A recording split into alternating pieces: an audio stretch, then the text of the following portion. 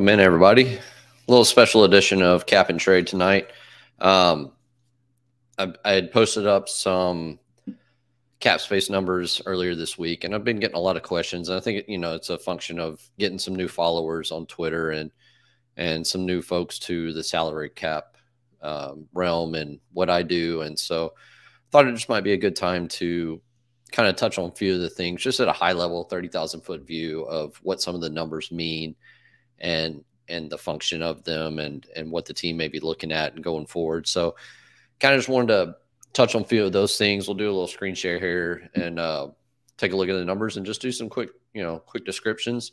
If you got any questions or comments along the way, throw them up on the board. We'll, we'll I'll try to answer as much as I can. Uh, this won't be too long of a show, probably, you know, 15, 20 minutes.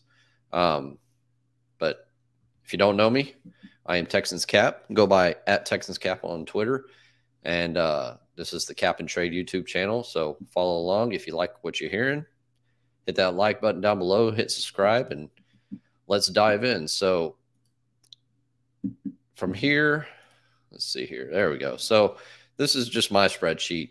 This is my personal spreadsheet that that I maintain for the Texans. I also do a lot of data entry and, and cap work for overthecap.com. If you're not aware of that, I manage all of the AFC, AFC South teams on that website, all the contract data. And then during free agency in the draft, I do as much as I can. Jason and I, Jason and I pretty much tag team and get as much data entry as we can through through those heavy processes. You know, that's a very busy, busy time um, you know, during free agency and draft, there's a lot of contracts coming in. So we just kind of tackle it the best we can. But so I tweeted out a picture of this. You know, I, I usually do this about once a week, especially during the season. I'll, uh, you know, I'll, I'll, I'll post out a link of this, and you know, from there we'll uh, we'll just kind of touch base of what everything means on here, right? So I've got it zoomed in. So I do, I have different ones. I have formulas hmm. galore everywhere, right? a lot of a lot of V lookups, H lookups everywhere. So I have one built for the off season.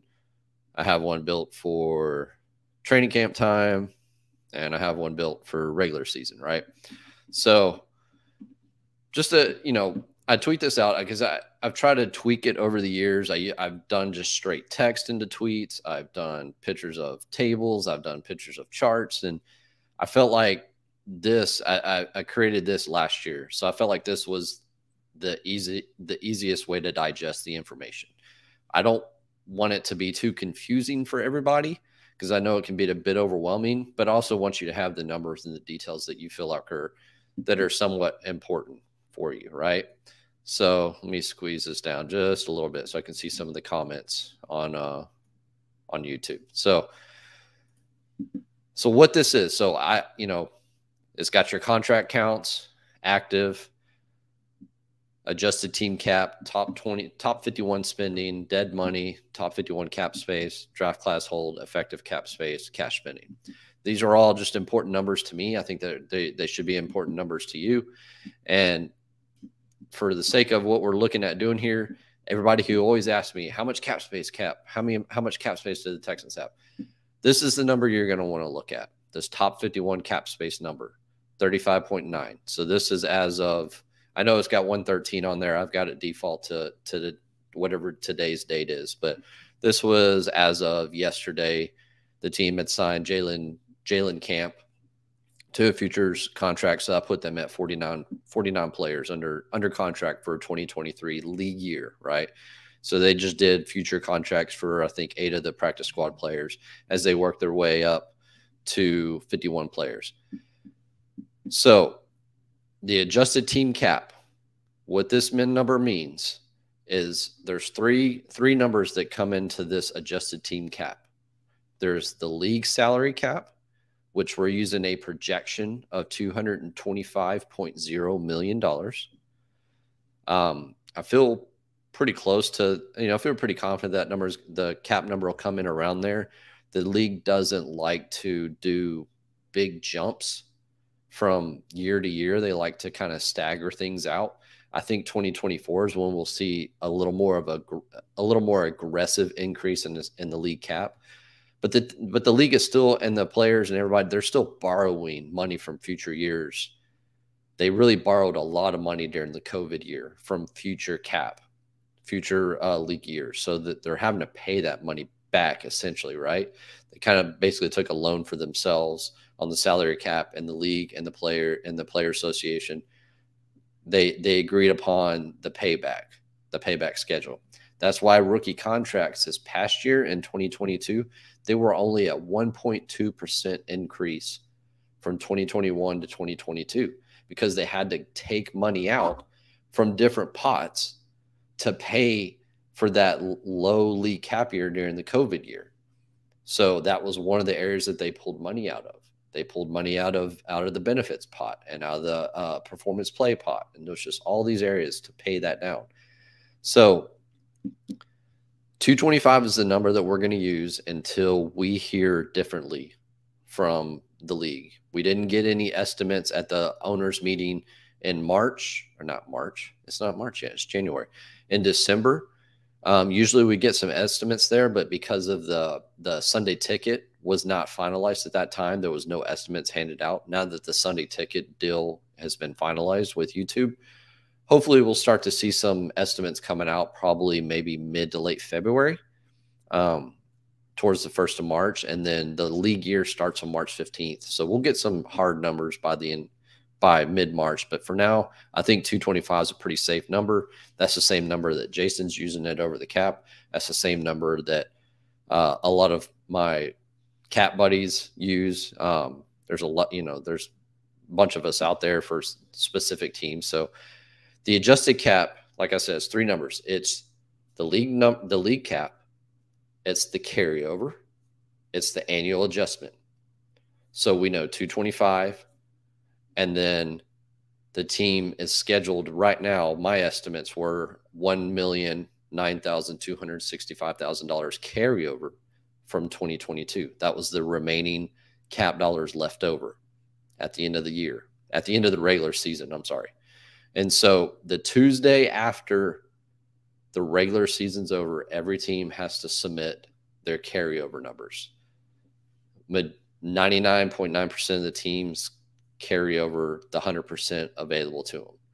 Every once in a while, you get somebody one off, like the Rams did one year, the Raiders did one year, where they didn't elect to carry over certain numbers. There's a lot of little funky reasons for that. It's to do with practice squad during the playoffs and um, just a lot of things that I don't think we need to get into. So we know the carry, we know the estimated carryover. That's not finalized yet. They're still going through the audits, and this number aligns with what Field Yates tweeted out. So the third number, the annual adjustment, we don't know that number yet. That number will probably leak out into February, first part of March, and we can do a whole we can do a whole show on the annual adjustment. I stopped doing it because I have access to probably about 80% of the information that goes into that number. I just don't have access to everything. And so I used to bang my head against the wall every year trying to figure out while I was off 40,000, 60,000, whatever the number may be. But we'll get that number probably, like I said, late February, early March and we'll tack it on here. I, I suspect for the Texans, it's going to be a positive number. It's basically a function of the difference between likely to be earned that was earned and not likely to be earned that was earned. And there's unearned incentives in there, unearned um, per game, you know, unearned per game roster bonuses that were considered likely to be to be earned, and then uh, a lot of salary cap credits from salary guarantees early in the year that were offset throughout the year. It's a big old mess. Trust me. It's not something you want to try to calculate. I know many who do. I know Miguel, uh, uh, who covers the Pats, uh, the Patriots. He does it, and he's usually spot on with it. Um, Brian McFarland with the Ravens, uh, he is usually spot on with it, and I can get pretty dang close. But I like my numbers to be perfect to the to the to the dollar and it just drove me insane so i just kind of just sit and wait right so this number will change once we get that annual adjustment and we get a finalized carryover number the top 51 spending That's the 188. That's counting up the salary cap charges for the top 51 players under contract for this team. Anything outside, if you were to rank them, right, uh, descending largest to smallest, you rank them. The top 51, those are the ones that count in the offseason. Anything outside the top 51 don't count. Now, there are some nuances to that, which affects the Texans because of the way contract structures that are set up by Nick Caserio. Per game roster bonuses, uh, workout bonuses, uh, likely to be earned, likely to be earned incentives for players outside of the top 51. Those count towards the cap, but those are usually small numbers. It's usually not a big deal. Um, so, as you know, like we said, we only got 49 players under contract. So, what I did for the function of this is I put in two placeholder contracts at the minimum at the minimum value of 750,000. So this is the team will get up to 51 pretty quickly. They're going to got a lot of contracts to sign. So for the sake of this exercise and what these numbers are on here, this assumes there's 51 players under contract. Dead money. As we all know, Texans had over 70 million in dead money this past year. And, you know, that's just a function of all the uh, you know all the leftover unpaid or you know prorated money that was left over from players that were released and uh, you know players that were released that had guaranteed salaries and just you know it's a big you know all the restructures they did all that money just is tabulated up as dead money right? So we know the team had over 70 million this year huge chunk. It's hard to operate when 30% 40% of your salary cap is tied up in dead money. This out. I don't have a rundown or anything tonight, so we're just rocking and rolling, free free willing it tonight. So, dead money this year, currently, this number is going to increase, obviously, but it's it's at only at 901,995, which I think is we can jump over here. I know this is hard to see. Let me zoom in here. It is, it's just these players right here, right? All small numbers. The biggest one is is due to Ross Blacklock, who was traded, you know, to uh, Minnesota last year. So that number is going to change as players are released, signed and released. This number is going to increase throughout the year as the league year goes on. So don't don't don't get all excited that the team only has 901,000 in dead money when we're coming off a year with 70 plus million, right? So, if you take the 220 your adjusted cap number, subtract out the top 51 spending, subtract out your dead money, and there's some other numbers in there, we'll get to that. This is where you get your your your cap space, 35. Right? There's another small number. Let me get over to this here. Uh, let me zoom in. There's also this this uh, this workout debt number. So that's that's a default number. Team the players are paid during organized team activities, which is called OTAs. They're paid based on their experience. It's a small number, but they are paid per day. And so that number doesn't get tabulated until like July during training camp when the OTAs occur in April and May.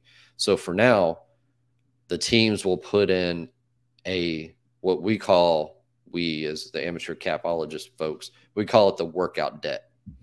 So this is just a a number based on 80 players at 290 they earn $295 a day during organized team activities for this league year. I think it's 315 next year in 2024. So you do 32 days, 80 players. This is where this number comes in. So that's a number that's subtracted out, but that that's a constant number that doesn't change. So this is where we get to 35 million, right? So a number that I like to add is the effective cap space number. Effective cap space number is essentially the draft class hold my, subtracted out, you know, so the top 51 cap space with the draft class hold subtracted out. And this is where we get our effective cap space. to me, this is a more realistic number because the team needs to account for their draft class. Now, we do, we have seen, and we see it every year where people or teams, not people, but teams will just get loaded up on their salary cap and maybe they got a, a post June 1 release coming or something like that, and they don't sign their draft class until like mid June, right? Even though the draft is held the last weekend of, Feb, of, of April. But for the Texans, they have a very large draft class. They have the largest draft class when it comes to to the to the point scale. So they're going to have a big number to compensate for. Now remember what I said, top 51 your top 51 contracts are what count. As your draft after as your players are signed, your draft players are signed on. And if they go inside the top 51, whoever was ranked 51st comes out of the equation and a draft player slides into that top 51 calculation. So right now, due to the the low amount of contracts, I'm having to account for the entire draft class. This draft class hold, as more players are signed, will decrease. Okay, because, and we'll jump over here to jump over here to the draft info page. So the anticipated draft pick or if the Texans stayed at 1.02, the anticipated cap charge for that draft pick is going to be 7.049 million. But if we go all the way down here, we get in these sixth and seventh round guys. Once you once the team starts signing free agents, and then all of a sudden the 51st ranked player on your salary cap is like has a cap charge of probably a million, 1.2 million, something like that. These players are not counting. Their prorated money's counting. Like I said, mentioned earlier, there's some nuances to the top 51 rule. But for the most part, these players won't be counting against the cap because their numbers would be outside of the top 51. So that's why I say you'll see throughout the year. Get back to this you'll see throughout the year, through the offseason. Once we get in, once we get through free agency, you're going to see this draft class number go down, which will increase your cap effective cap space. But the team is going to be spending cap dollars. Now, I know there's a lot of speculation out there about, you know, the team can get to 60, 70 million dollars, things like that. You know, I think we'll we'll probably have a show. We'll do something like this, and we'll we'll we'll go into more depth into the calculator that's on OTC and do some theoretical player releases, you know, like maybe a Brandin Cooks trade, uh, an extension with Laremy Tunsil, maybe extension with Tytus Howard, uh, releases of, you know, players like Eric Murray, um, Justin Britt, things like that. Maybe some look at some extensions and we'll kind of go through and see how that affects this number. But I know there's a lot of folks out there that say, you know, the team can get to 60, 70 million. Probably so. If they did starting to release a lot of players, got to replace those players, right? Excuse me. So just keep that in mind as the as the as we progress through these next few months leading up to the league year, which starts, I believe, March 15th. This suggested cap number is going to change as we get finalization on the carryover numbers, which I feel pretty good about the number we have at the 1 million 9,265. But that number will change once we get that number finalized and we get the annual adjustment, which I think is going to be a positive number. Some teams, it will be a negative number. Um, there's a lot of teams, you know, that they'll they try to utilize um, cap growth to capture some of their incentives that they know will be earned, but they were considered not likely to be earned at the beginning of the season. This dead money will increase. This top 51 spending number will increase. Okay, this number will increase for sure as we get into off season and we start seeing Nick Caserio and folks start signing folk start signing players, and then this dead money will start jumping up once we see some of those player releases like we talked about with Eric Murray, Justin Britt, you know, some various there's only you know, there's not too many release candidates in my opinion. Um, I know some folks have some different opinions on that, but so these numbers are going to change throughout the off season. I'll try to keep you updated as best I can. But I just want you to be aware of what all this what all these numbers mean and where they come from. Right? And then this last one is cash spending. Um, something that I track is the cash spending for a reason. So there's a stipulation in the CBA that teams have to spend 90% of the cap over a three year period. And the in the previous CBA, it was four years, 89%. This year, this this CBA, it's 90% over three years. In 2023 will be the third year of this first spending window. So the teams like the like the Bears are going to have to spend a boatload of cash to get to that 90% number. I think it's an astronomical number for the Bears. I want to say Brad, uh, Brad, Brad uh, Spielberger at PFF, uh, PFF underscore Brad. I think he tabulated, he follows the Bears pretty heavily. Um, they had to spend like 160 million in cash this year and new cash. That doesn't account for players that are already under roster. So we'll take a quick jump over here. So this is my my little dashboard. And so right now I've got the team at over 3 years. This is a big number, 544 million dollars in cash spending over a 3 over a 3-year period. This is 2021, 2022 and projected for 2023. This number is going to increase dramatically, especially because you got like we talked about the big draft cl- the big draft class and then free agency. So they're already at 88%.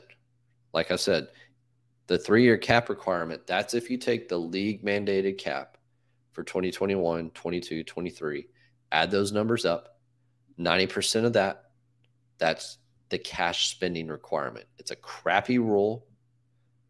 It should be 90% of the adjusted cap, right? But it does keep the teams in check. Um, never, I, I don't, not that I'm aware of, of any teams being in default of not meeting this 90% or in the past CBA 89%. But if you go digging in through the through the CBA, if the team were not to meet that 90% number, they would take the offset money and distribute it among all the players that were on the roster during those three years. But as we see, the team is already at, let me increase this a little bit more for you. The team is already at 88.3%. Boy, that's tough to see on there, isn't it? 88, 88.36% is where they're at right now. And that's without draft class and without free agency. So they're easily going to get to the 90%. And Houston has been historically, they have been below the mean, below the average of cash spending among the league. During the Tunsil extension and Watson extension era, they were number one in the league in cash spending, but they, you know, those two contracts commanded a lot of cash in one year. So that's, you know, just something to keep in mind. Just keep all these numbers in mind, but that's where the cat sorry to jump all over the place, but that's what the cash spending is. And that's what I, that's why I keep up with that because I want to make sure that the team is getting to that 90% number. Um, they'll probably get upwards of around 215 to 230 in cash spending this year when it's all said and done, if I had to guess. Um, just depends on how aggressive Caserio is in, in free agency and how they do their contract structure. So, just to summarize, and I, I, see we got a question up on the board, so we'll get to that here in just a second, Travis. I do see your your question. Um, just to summarize, contracts and active during the regular during the all season, that number is going to pretty much be the same between the two. I separated them out because once we get into the regular season, you have players on IR, NFI, practice squad, you know, PUP, things like that. So it's total contracts and then players that are on the active 53 man roster. But for the sake of the off season these numbers will probably stay the same through the whole process once until we get to regular season. Then you got your adjusted team cap. Like we said, it's the league cap, the carryover, and the annual adjustment. We don't have finalized numbers on any three of those, but we're using 225 as a placeholder. We've already got a projected carryover number, and we're waiting on the annual adjustment. Top 51 spending, like I said, 51 player contracts. Anything outside of that doesn't count except for some prorated money and uh, per gamers and workout bonuses. But those are pretty small numbers. Dead money, players that are no longer, it can be players that are still on the roster that count towards dead money. You know, like undrafted rookies that sign right after the draft, but may not make the final roster and they get re-signed to the practice squad, their initial contract's going to hit that dead money column. So this is just dead money is just money that's already been paid for, accounted for, calculated for on a contract that's expired. Not a play. It could be a player on the roster, off the roster, right? Like I said, like I've said many a times, salary cap is a an accounting function of cash spending. Okay. Then we got your top 51 cap space, which is this number minus this number minus this number, and that workout debt, like we talked about, to get to this number. You got your draft class hold, which we went through, and that number will change as we as the team signs more players, because we talked about those players will be bumped out of the top 51 calculation. This is your effective cap number. So when you want to know how much cap space a team has. Go check my timeline. It's usually Thursday or Friday. I usually try to tweet out an update. If there's signings happening or things going on, I'll, I'll do quicker updates. Total cap space, effective cap space. This is what the team needs to account for. This is what they have. Simple. Let's not, let's not make it harder than it is. All right. So let me remove this here and then um, Let's see here. Let me get so Travis has a question about Reeves-Maybin. So let me get the calculator up for OTC.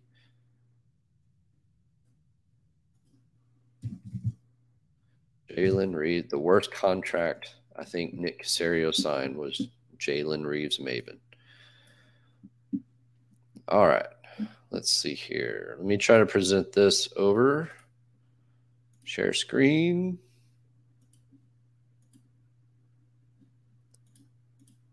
All right. So Travis was asking Reeves-Maybin should be a release candidate, frees up what five million. So does it free up five million? He has a base salary of let me try to expand this out so it makes it a little bit bigger.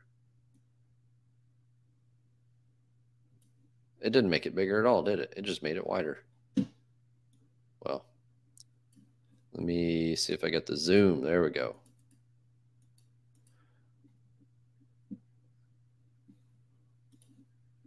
All right.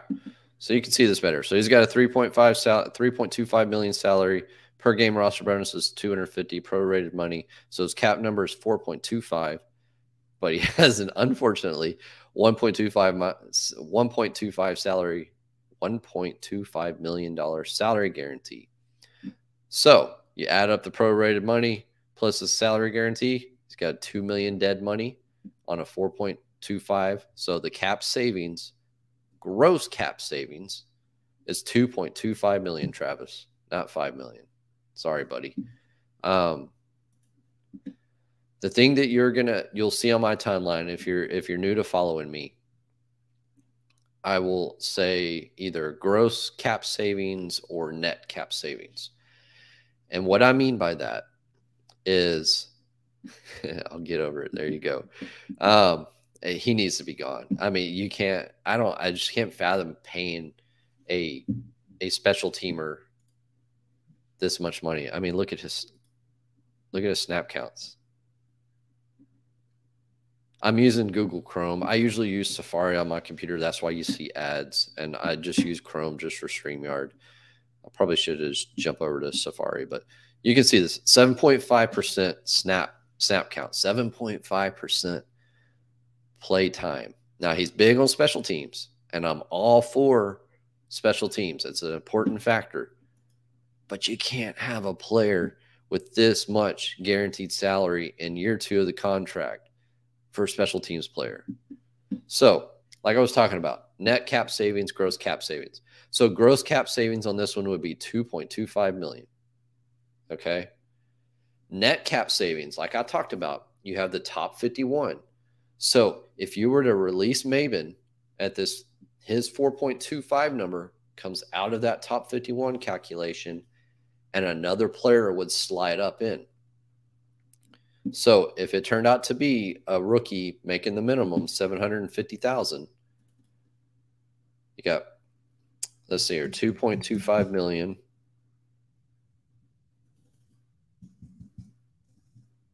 minus mm-hmm. 750,000 because he's replacing Reeves-Maybin in the top 51 calculation. So really, it's a 1.5 million net cap savings. Okay. So you'll see that on my timeline where I'll say it's gross cap savings or it's a net cap savings. When I say net cap savings, it's because you got to calculate for that player replacement and the top 51 calculation. Oh, VT's in here. I know you're going to do restructures efforts for Tunsil and Howard, but both restructures should only have a small cap hit. No, they'll have much bigger, much bigger um, cap hits than that. Um, and their their their minimum salary will be the minimum salary is actually higher than that this year. It increases every year. Here, I'll show you real quick just so you can see. Let me get back to my back to my spreadsheet. So zoom in here. So this is the P5 schedule. So you'll say Another thing is P5. That's paragraph five.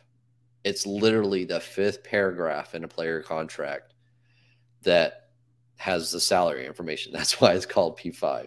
So this year, last year, like like V like Brown Chubby Bear says, 1.35 was the minimum, but actually this year it's going to be 1.8 1.08 million. Let me try to zoom in a little bit more.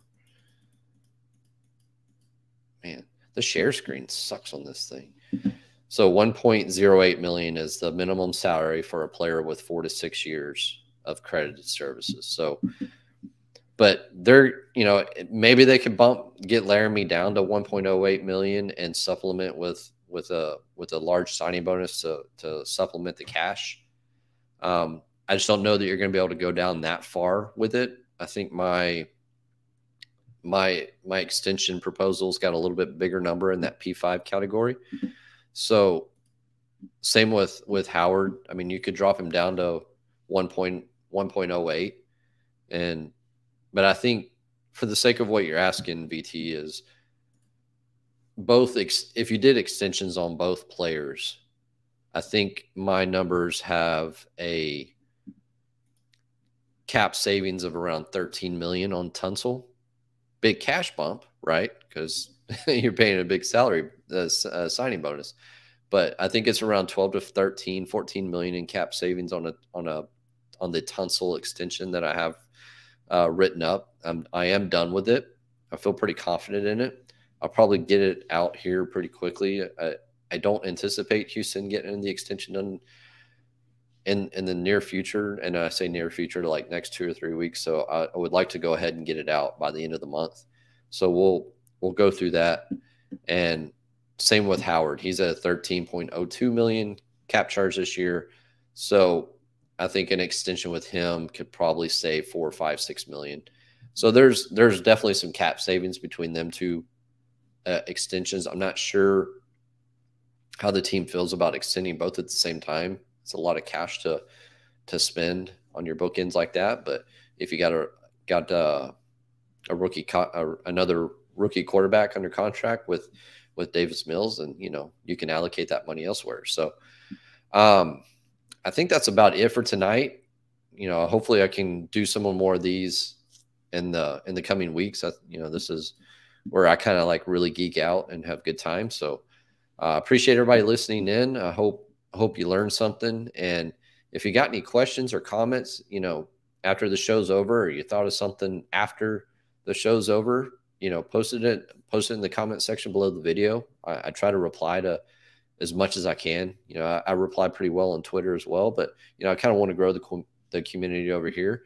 So, um, you know, drop your comment in there, and as always, hit the like button on this video down at the bottom. Subscribe. It helps the channel out, helps the algorithm as I uh, try to learn about that. And you know, let's just continue to make this channel as best we can.